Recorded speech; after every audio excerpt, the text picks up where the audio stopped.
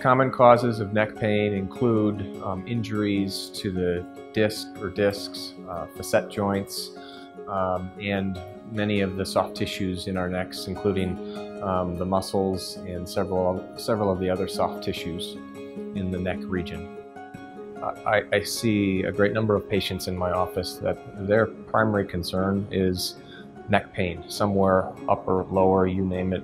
uh, within their neck region hurts is the bottom line complaint that they will will give to me. And for many of those individuals, the the news is good in that uh, most episodes of neck pain will resolve in a reasonably short period of time and can be effectively treated with a combination of conservative treatment options, physical therapy, chiropractic treatment, massage therapy, acupuncture is also uh, sometimes effective, and then certain types of injection treatments within the soft tissues or within the bone or, or disc structures within the neck can also be a helpful option.